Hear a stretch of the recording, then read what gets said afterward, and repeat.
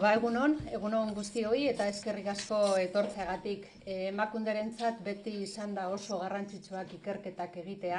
E, era horretan hobeto ezagutzen dugu zein den gure herriko errealitatea eta horrela hobeto e, bueno, ba, planteatu edo diseinatu alditugu e, bueno, ba, politika publikoak gure gizartearentzat. Ikerketa e, bultzatzeko ditugun tresnen artean, e, bata bekak ematearena da, e, urtero, dakizuen bezala, ba, emakundek berdintasuna eta generoarekin zerikusia e, duten, ba, iru ikerketa e, laguntzen ditu beka deialdi baten bitartez. Eta hauetako bat da gaur aurkeztu behar e, duguna. Hemen nirekin daude e, Patricia Migot eta Ruth Zurbide, e, beraiek dira e, Mari Isabel Mendezekin batera ba gaur aurkeztu behar dugun ikerketa honen egileak. Emakumen notizien inguruko neomatxismoa, publikoaren parte hartzea Euskal Autonomi Erkidegoko foro mediatikoetan. Ikerketa honen e, helburua izan da, e, prentza digitalean irakurleek modu anonimoan egiten dituzten iruzkinek ba genero ikuspegitik e, ikertzea. Euskal Autonomia Erkidegoko lau egungari digitaleko iruzkinak aztertu dira. E, 2006ko abuztua eta 2006ko martxoa bitartean. El Correo, Noticias de Álava, Gara Naiz eta Berria. Ezberdintasunak daude komunikabideen e, artean, baina egileak beraiek bazalduko digute iruzkin anonimo hauetan ba, matxismo kutsu handia aurkitu dutela. Zalantzan jartzen da kasu askotan emakume eta gizonen arteko berdintasun eza eta honekin batera mugimendu feministak eta erakundek ba, berdintasun alde egiten dituzten ekintzak zalantzan jartzen dira besteak beste. Nik e, nabarmenduko nuke e, gauza bat, ba, berdintasunak lurralde bat konkistatzen dauen bakoitzean, ba, kontrako eraso bat jasotzen dauela. Hau ez da berria, feminismoaren historian ikusi dugu aurrera pausuak eman duten emakumeak nola izan dira erasotuak eta nola beti agertu den kontrako erreakzio bat aurrerapen bakoitzaren aurrean. Foro hauetan islatzen dena erreakzio hori dala esango nuke. Eta honekin batera, nabarmenduko nuke, anonimotasunak ere baduela zerikusirik iruzkin hauetako eduki askotan. Badago, e, aztertutako eruzkinen artean bat nahiko nabarmena eta kezkagarria. Indarkeriaren biktima diren emakumen testigantza zalantzan jartzea. Nik uste dut, kontuan izan behar dugula, zein arriskutzoa den hau, bereziki, zalantzan jartze honekin, ba ez digula bat ere mesederik egiten alako egoerak jasatzen ari diren beste emakumei. Iruzkinotan, emakumen e, testigantzak askotan agertzen dira susmagarri bezala edo asmatutako zerbait bezala gizonei min egiteko. Egileek, beraiek, kontatuko digutenez, badaude hala ere sotilagoak diren mezuak eta hauek dira ugarienak. Ba, emakumen gaitasunak eta jakintzak ukatzen dituztenak edota haien lan diskriminazioa ukatzen dituztenak. La investigación eh, que presentamos hoy, Neomachismos ante las noticias sobre mujeres, análisis de la participación del público en los foros mediáticos de la Comunidad Autónoma de Euskadi, es un estudio becado por Emacunde que se basa en un análisis con perspectiva de género de la participación del público a través de los foros de prensa digital de la Comunidad Autónoma de Euskadi. El estudio eh, se ha articulado a través del análisis de los foros de participación del público de cuatro rotativos que disponen de edición digital. El Correo, Noticias de Álava, Garanais y Berría. Mediante un trabajo de campo realizado entre agosto de 2016 y marzo de 2017. Tal y como nos contarán a continuación las propias investigadoras, el estudio constata una reiterada expresión de contenidos machistas que cuestionan la desigualdad de mujeres y hombres y las acciones encaminadas a superarlas. Junto con la negación de las desigualdades de género, se cuestionan en muchos casos las acciones llevadas a cabo por las propias instituciones o el movimiento feminista. Los fenómenos más eh, cuestionados en estos foros son la violencia de género, la feminización de la pobreza y las discriminaciones laborales de las mujeres. En el caso de la violencia de género aparece un cuestionamiento a la credibilidad de las víctimas. Los testimonios de las mujeres aparecen en muchos casos como sospechosos sin veracidad o como una eh, invención interesada y terriblemente lesiva para los hombres. Creo que es importante eh, que nos paremos a pensar sobre el efecto que este tipo de comentarios, tanto en estos foros como fuera de ellos, puede tener sobre las mujeres que están sufriendo algún tipo de eh, episodio de violencia. Desde luego, eh, considero que no son comentarios que las animen a denunciar su situación ante el miedo a que sea cuestionada la veracidad de su testimonio. Hay muchos otros discursos que el estudio ha detectado y que a continuación las propias investigadoras, eh, Patricia y Ruth, nos van a detallar. Pero bueno, quisiera terminar eh, y aprovechar que estáis aquí los diferentes medios de comunicación para anunciaros que eh, mañana mismo se publica en el Boletín Oficial del País Vasco una nueva convocatoria para tres becas a desarrollar durante el año 2018. Mila esker eta orain Patricia Ruth zuena da horrela bai, bai da, bai. Bueno, pues egun eskerrik asko tortzagatik eta eskerrik asko nola ez emakunderi eta egindako. E, bueno, geuke orain egindako lana aurkeztuko dugu, lana gaztelaniaz eginda dago, e, txostena gaztelaniaz dago, baina saiatuko nahi sarreratxo, sarreratxoa euskaraz egiten. Lan honetan azertu ditugunak, prensa digitalaren foroetan agertzen diren adierazpen eta jarrera matxistak izan dira. Beraz ez ditu aurkez aztertu, barkatu, ez egunkariak, ez berriak, baizik eta irakurleen parte hartzeak plazaratzen dituen diskurso sexistak. Horretarako, amar eh, hilabeteko jarraipena egin genuan eta lau egunkariren foroak irakurri genituen, esan den bezala. Batez ere, emakume eta mugimendu feministaren ekintza, emakumeen kontrako bortizkeria edota berdintasun politikei buruzko berriekin lotutako foroak. Como decía, el... Ah. El estudio que presentamos es un análisis con perspectiva de género de los foros de prensa digital vasca. Específicamente hemos intentado documentar y analizar los discursos sexistas y machistas en relación con noticias que otorgan protagonismo a mujeres, que, abordan aspectos de la desigualdad de género como la violencia de género o la brecha salarial, o que informan sobre acciones feministas e institucionales o políticas de igualdad. Es importante señalar que no hemos analizado el tratamiento informativo de los medios, es decir, la construcción de las noticias, sino solo la reacción a estas por parte del público que participa en foros anónimos. Por tanto, no aludiremos a los medios. Y por otro lado, es un estudio cualitativo. Hemos intentado dibujar un paisaje de las expresiones machistas y sexistas que aparecen en los foros y aunque señalamos el peso de, de unas tendencias y otras, no lo hemos cuantificado esto sería, podría ser objeto de otro estudio más adelante. Eh, hay tres elementos que nos llevaron a plantear esta investigación.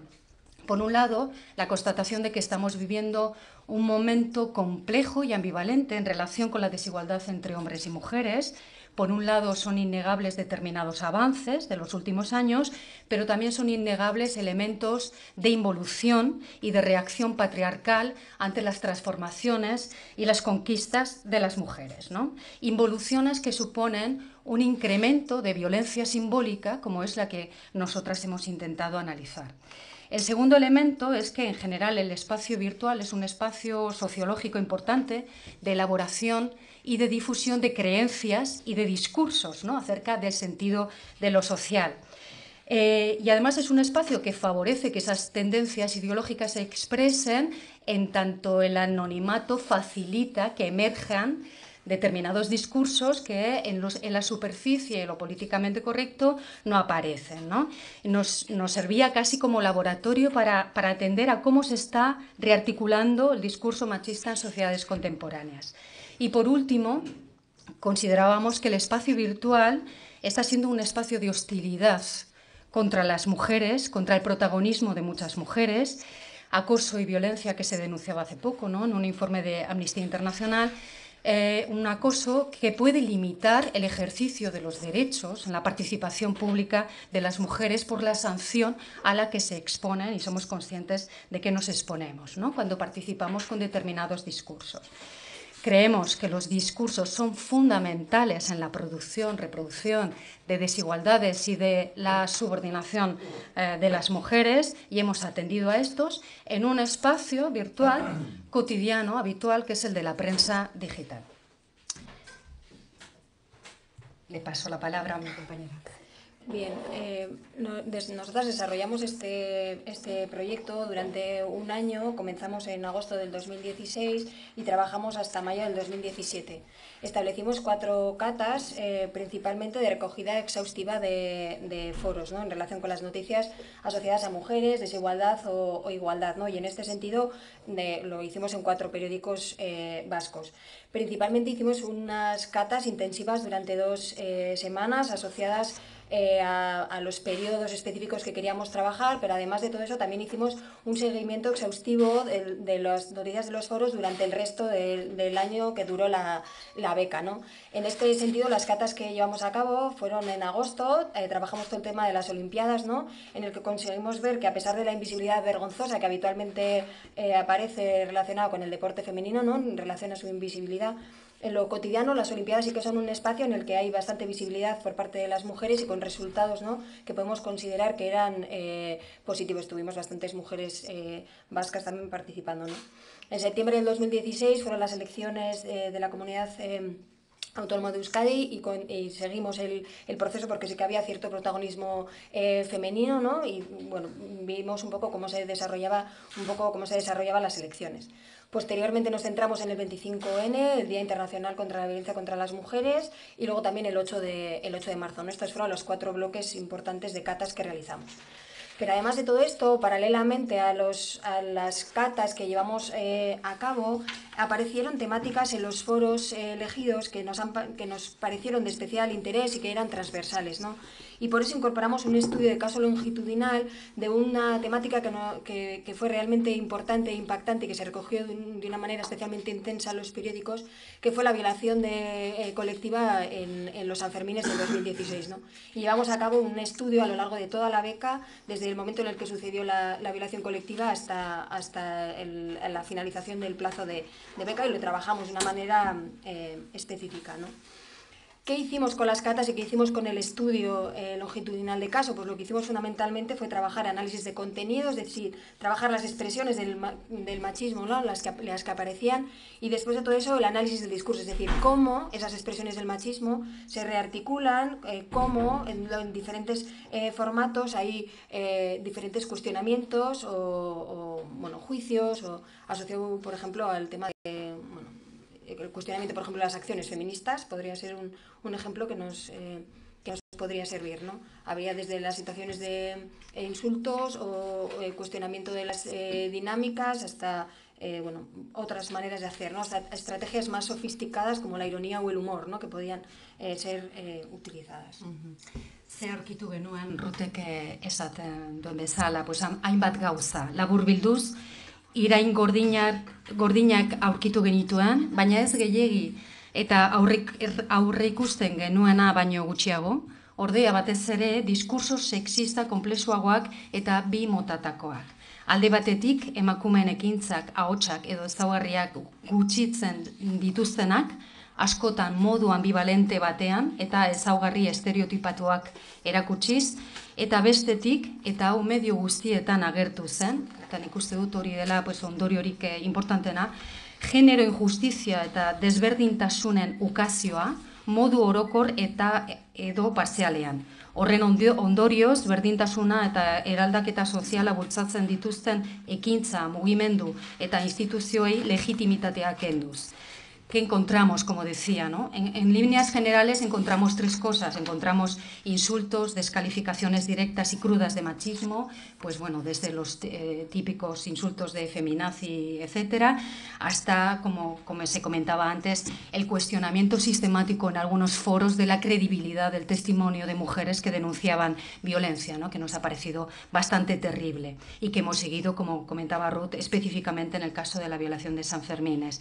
Eh, y luego encontramos sobre todo dos cosas, ¿no? discursos un poco más sutiles, ambivalentes en muchos casos, de descrédito y de falta de reconocimiento de las acciones o de las características de las mujeres. Y ambivalente a veces quiere decir que se puede celebrar el triunfo de una mujer pero se la alaba fundamentalmente por su, porque es madre o por sus características corporales, es decir, en función de ajuste a elementos estereotipados y no por el triunfo en sí. Por ejemplo, parece buena atleta, pero lo que es indudable es que es una señora muy guapa.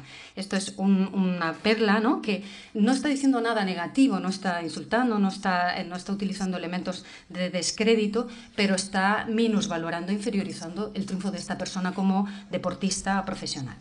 Eh, y luego hemos encontrado discursos, y esto en todos los foros de los medios, en todos, en todos, que cuestionan la desigualdad entre hombres y mujeres en términos globales o parciales y lo hacen para deslegitimar las acciones institucionales y feministas que denuncian la desigualdad y transforman las lógicas y las relaciones sociales. ¿no?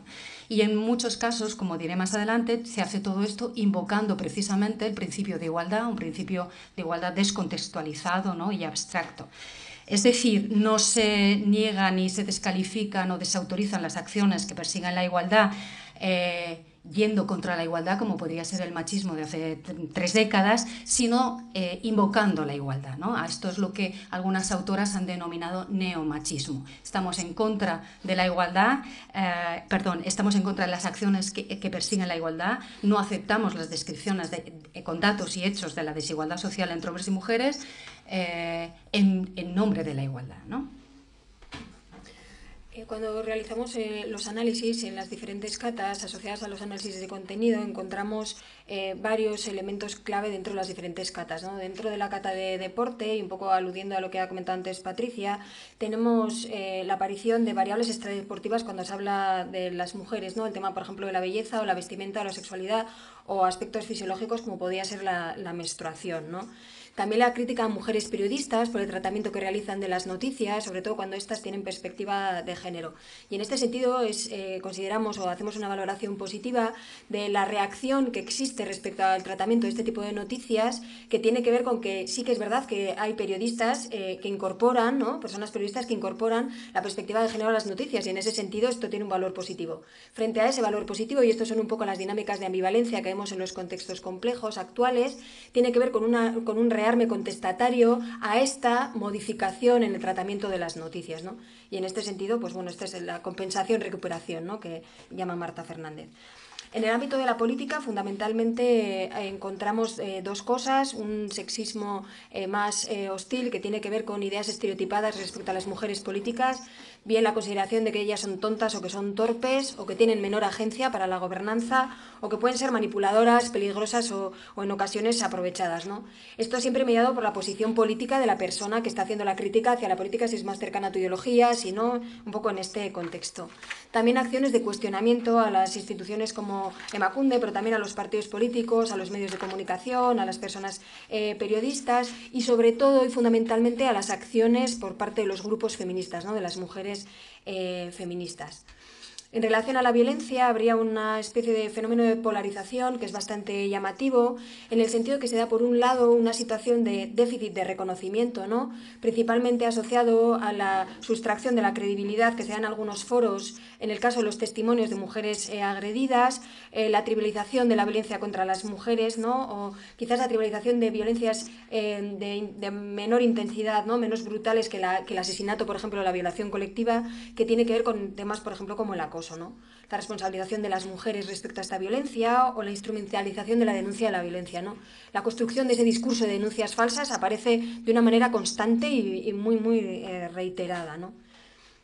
En esta polarización tendremos por un lado lo que he dicho de déficit de reconocimiento, pero por otro lado aparecería todo el tema de la construcción de los agresores como, como monstruos como los otros, como la alteridad, ¿no? En ese sentido, como lejanos a la normalidad, como los diferentes, ¿no? Y, frente a ellos establecen castigos penales, violentos y, un poco en esta eh, dinámica. Y ya por último, en relación a las políticas de igualdad, que será la cuarta cata, tenemos todo el tema de los discursos que cuestionan la, la desigualdad en situaciones que tenemos datos objetivos para, para considerar que, que, son hechos irrefutables, porque lo dicen organismos internacionales como los de Naciones Unidas, también investigaciones en el ámbito nacional y, por supuesto, en el autonómico y el local, ¿no? como por ejemplo la negación a la, a la brecha eh, salarial, la negación o la minimización de la violencia contra las mujeres o la, o la negación, por ejemplo, de la feminización de, eh, de la pobreza. ¿no? En este sentido, también hay un discurso muy claro de la construcción de los hombres eh, como víctimas, fundamentalmente de las mujeres y de, y de esos malos haceres, eh, que somos un poco perniciosas o maliciosas o manipuladoras en ese sentido, también del patriarcado o determinadas instituciones o políticas o leyes de igualdad que consideran, ¿no? se consideran en el discurso discriminatorias. El tema de las cuotas, por ejemplo, podría ser un ejemplo en este sentido. Bueno, y luego, ah, perdón en relación la, al análisis de contenido, ¿no? que era un poco dibujar todo el, el tipo, los diferentes tipos de expresiones machistas, sexistas. Que quería contar lo de la Pamplona. Del, Ay, perdona. Sí. Digo, perdón. Y luego lo del tema del estudio de, el estudio de caso, que el estudio de caso de longitudinal que hablamos de la violación de San Fermines es bastante interesante porque aparece una especie como de itinerario construido en tres, en tres pasos. ¿no? La, la construcción del discurso se realiza inicialmente con una clara sospecha respecto a la y una siembra de la duda respecto al relato que cuenta la, la mujer agredida, para posteriormente, en una segunda fase, cuando los hechos se consideran que son irrefutables, en ese sentido hay una, un desplazamiento de la sospecha a la credibilidad y a partir de ahí hay una clara eh, condena ante determinadas eh, acciones, ¿no? ante estas eh, acciones. Y una tercera fase en la que, en la que se construye eh, eh, se solicitan soluciones penales para un fenómeno que, como el de la violencia de género, que es un fenómeno muy complejo, en el que las soluciones penales están bien, pero tenemos también que trabajar con soluciones sociales, ¿no? Entonces, se solicitan soluciones penales, aumento de penas, eh, que los metan en la cárcel, que no salgan nunca, eh, que los cuelguen en las plazas de los pueblos, ¿no? La construcción de los agresores como monstruos, como lo que hemos comentado antes de, de los otros, y por supuesto que la ley caiga sobre ellos, que no salgan nunca más de la cárcel, este tipo de, este tipo de dinámicas, ¿no? Y es interesante cómo se construye ese discurso respecto a la violencia contra las mujeres, en este caso concreto de, de Pamplona. Eh, bueno, como decíamos, eh, Ruth has puesto un poco el análisis de contenido, es decir, este paisaje de diferentes expresiones ¿no? del sexismo y del machismo, y en la segunda parte de la investigación lo que hicimos fue profundizar un poco en lo que llamamos estrategias discursivas, en cómo están construidos todos estos contenidos ¿no? temáticos de los que hemos hablado. Esto es un poco más específico eh, y alude a las maneras en que denominamos a los sujetos y a, las acciones que llevan a cabo, cómo construimos los relatos, qué tipo de qué estrategias argumentativas utilizamos o qué estrategias retóricas. ¿no? Voy a intentar simplificarlo un poco y no alargarme. Eh, por ejemplo, lo que llamamos estrategias nominativas, es decir, cómo se califican a los sujetos o a los grupos eh, protagonistas de, acciones, nos encontrábamos eh, descalificaciones, como comentaba antes, sobre todo de las mujeres feministas, de feminazis, pajarracas, impresentables, etc. denominaciones de las acciones feministas también en negativo, que van desde calificarlas como nazis a, a calificarlas como un cachondeo, una rabieta, eh, algo que deslegitima e infantiliza, ¿no? por ejemplo, la cuestión de la rabieta.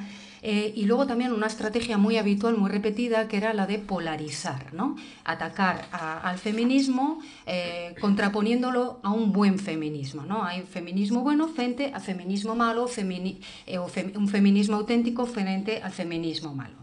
En las estrategias predicativas de cómo están construidos esos relatos destacamos alguna cosa. ¿no? Por un lado, que hay muchas acciones negativas protagonizadas por mujeres y por, por, mujeres feministas sobre todo, como decía, algunas que son verdaderos delirios, ¿no? como decir que el feminismo lo que quiere es el exterminio del hombre, cosas así. Y luego hay muchos relatos que pontifican acerca de la realidad que establecen de una manera que, bueno, actualmente se llama esto del mansplaining, ¿no? que explican la realidad frente al contenido de la propia noticia y frente a los datos de la propia noticia. Hay muchas intervenciones eh, tipo, eh, esto de la brecha salarial es puro cuento, ¿no? eh, o bueno, informaros mejor, eh, es decir, se reelaboran las versiones de los sucesos y se pontifica acerca de la realidad, ¿no? Eh, desde una posición como de verdad irrefutable. Eh, feminizidioa asmakeria eta alucinazio bat da. Eta eta hau zen erantzun bat eta titularra feminizidioa eguneroko kontua da. Eta hori parte hartzeak plazaratzen du hori, eh? hori ez da egia, egia hause da. En términos de eh, estrategias argumentativas, hemos destacado cuatro. ¿no? ¿Cómo se argumenta esta descalificación de las acciones, eh, de las políticas de igualdad, de las acciones feministas y cómo se sostiene esta negación de las desigualdades ¿no? entre hombres y mujeres?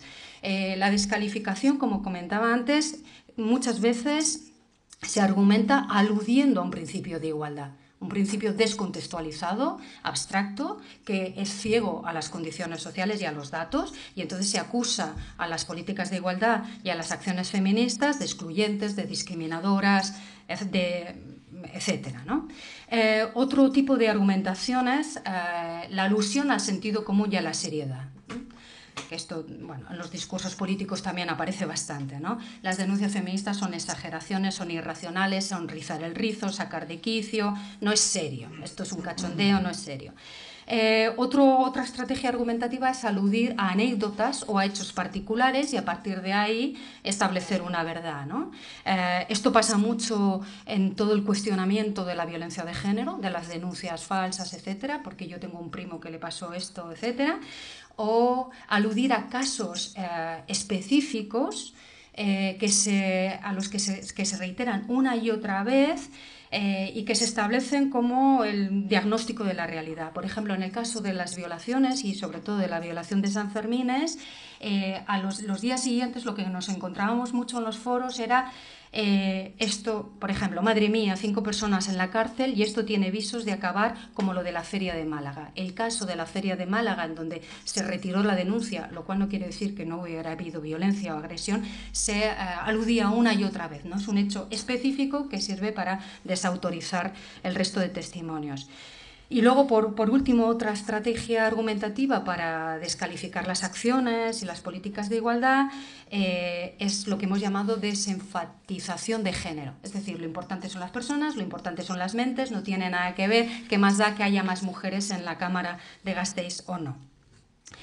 Eh, y por último, eh, algo muy destacable también en los foros, y es una manera de hacer crítica y, hacer, eh, plantear una reacción más inteligente, son todas las estrategias retóricas que utilizan la burla, los juegos de palabras, el humor y fundamentalmente la ironía. Y la verdad que es bastante interesante leer ¿no? cómo se construye desde la ironía una posición reactiva a, a, a las acciones feministas y, y de igualdad.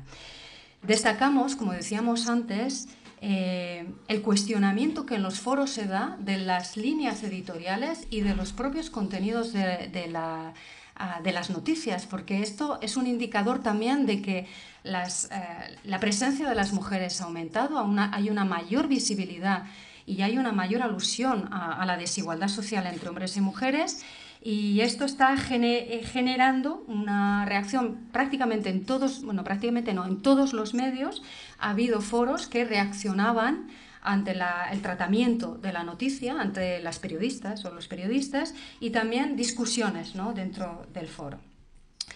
Con esto acabamos ¿no? un poco esta presentación resumida del trabajo y volvemos al principio, ¿no? que si queremos transformar eh, y seguir trabajando para cambiar la injusticia y la desigualdad de género entre hombres y mujeres, tenemos que comprender adecuadamente cómo se produce esta desigualdad y esta subordinación eh, de las mujeres, más en un momento complejo como como en el actual. Y para ello tenemos que atender a, a la construcción de, de, los discursos y a cómo están, qué tipo de creencias y de opiniones y de actitudes están emergiendo en este contexto ambivalente que comentaba, al que aludía al principio. Y esto era un poco nuestra presentación. Es que ricasco. Bueno, eskerrik asko Patricia, eskerrik asko Ruth, ez dakit galderarik dekozu esan, pres daude, erantzuteko. Sí, eh, yo quería saber si habéis analizado también cómo se producen las reacciones a esos comentarios en, los propios foros, las reacciones de, del resto de personas que intervienen, eh, si son reacciones que, bueno, que tratan de, no sé, cuestionar la, las críticas o incluso sancionarlas. Y eh, en, en segundo término, bueno, contestarme es el mejor. Sí.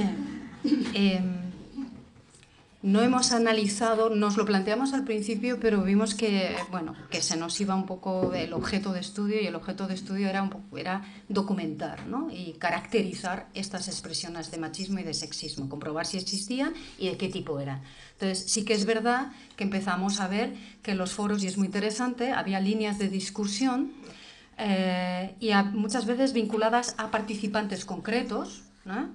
Muchas veces ahí se identificaba también eh, el sexo de las personas participantes, ¿no? Ahí empezaban a, eh, en esa discusión muchas veces se desvelaba si estaba hablando un hombre o una mujer, pero no lo hemos analizado sistemáticamente. Eso se da, pero también es verdad que se da, hemos encontrado, eso es bueno, porque se ve que hay un debate social ¿no? que, que, que se refleja en los foros, eh, pero también nos hemos encontrado foros en donde se, se van construyendo consensos y complicidades muy peligrosas en donde no hay eh, alguien que lo, que lo cuestione, o si es, es una persona muy en solitario, ¿no?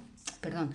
Y sobre todo tiene que ver con, con todo, con la, la, sospecha, ¿no? Los foros en donde se cultiva esta sospecha sobre los testimonios y las denuncias de las mujeres. Obviamente más en unos medios que en otros.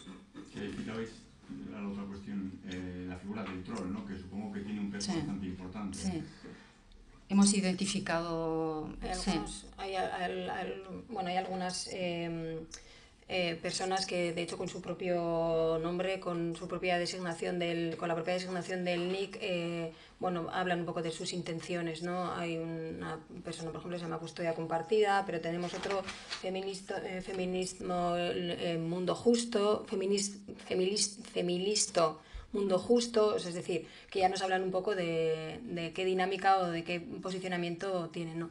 En ese sentido son realmente interesantes los debates, hacemos una valoración positiva en relación a, en relación a, a esto, porque había veces en los que claramente había personas muy posicionadas en, en relación a la igualdad, además una igualdad real, y luego sí que es verdad que había debates en los que, lo que ha comentado Patricia, se generaban determinados consensos y había mujeres que claramente se declaraban feministas y que decían, es que estoy aquí sola frente a un... me estoy cansando también de estar siempre teniendo que contrarrestar lo que este tipo está diciendo, lo, asociado un poco a la pregunta del, del troll, ¿no?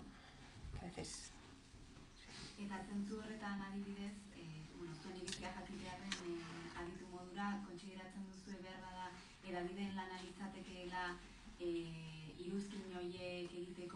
izena izenak e, eskatu behar izatea, esate baterako trolak ekiditeko edo e, diskurtso horiek anonimotasunean babesten bali badira, ba, tresna hori kentzeko, eta mm -hmm. egiten mm, ez dakit oso ongi, eta hori, hori ere hausnartu dugu.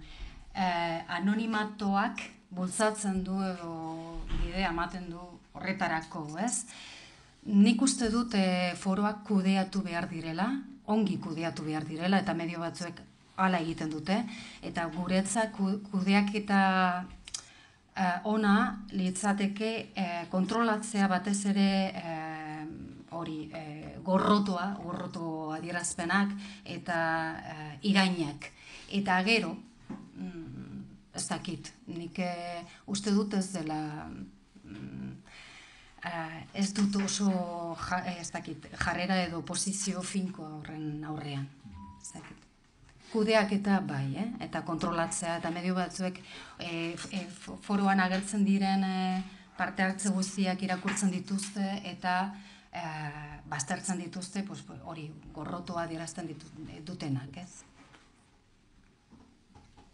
Ya es que vivíamos un, mundo, un momento complejo en el que hay avances, pero también mucha involución. Sí. Los foros que son caldo de cultivo de la involución, sobre todo. Bueno, creemos, y eso fue uno, una de las motivaciones que nos llevó a plantear el estudio, que son un espacio en donde determinadas reacciones a la igualdad, que quizá formalmente o, en el ámbito más políticamente correcto no están bien vistas, sí son un espacio de expresión de todo eso que está latiendo ahí, tendencias sociales reactivas del patriarcado, y, que, y por lo tanto, en el sentido que son espacios públicos que tienen visibilidad, son caldo de cultivo de determinados discursos y de determinados mitos y de determinadas mentiras, como puede ser el de las denuncias falsas. Sí, el nacimiento del, del proyecto tuvo lugar en relación a eso, ¿no? Eh, nosotros eh, formamos parte de un... Bueno, yo juego a pelota a mano en un equipo eh, femenino, jugamos eh, se generó el equipo femenino, se generó la Rabechu y después dijeron, pues competimos con las de Iruña, en Iruña no queréis montar algo y entonces en Iruña montamos el otro equipo eh, femenino de pelota. Y entonces hubo una entrevista que le hicieron a una mujer pelotari del equipo de la Rabechu, de Chocoan, y entonces a raíz de, de, ahí apareció en el periódico con un tratamiento en relación a la perspectiva de género, bueno, pues en cierta manera un poco... Y, y, fue un momento en el que hubo muchísima violencia. Tenemos un foro eh, común y hablamos de llamar al periódico para que por favor eh, limitase todo el tema de los, de los foros porque porque había un alto grado de, de, violencia. ¿no? Entonces, a partir de ahí reflexionamos de las propias cosas que nos pasan en la vida. ¿no? O sea, los proyectos de investigación tienen que ver muchas veces con esto con cosas que te pasan y decides que hay que investigarlo porque, porque ves que son campos además de nuevas tendencias, hay pocas investigaciones asociadas a los, a los foros y, y son, son elementos muy importantes de generación de discurso, ¿no? como hemos podido ver. Entonces, bueno, es, es bastante interesante ¿no? que, haya, que pueda haber espacios en los que, en los que la realidad también nos lleve a, procesos de investigación y, y de investigación-transformación, ¿no? en ese sentido.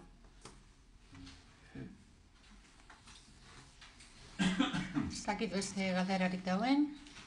Ez, bueno, ba, mila esker guzti hori etortzeagatik eta bereziki zorionak. Eskerrik asko, Patricia Zerruti egindako lan guztiagatik.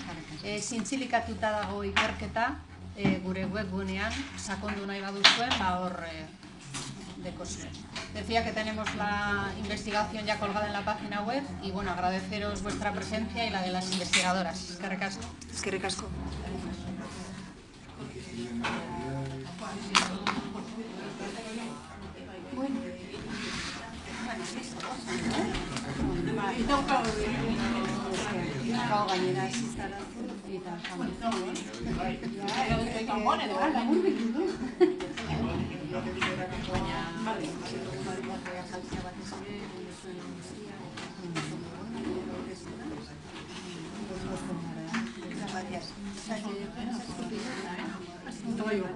Sí.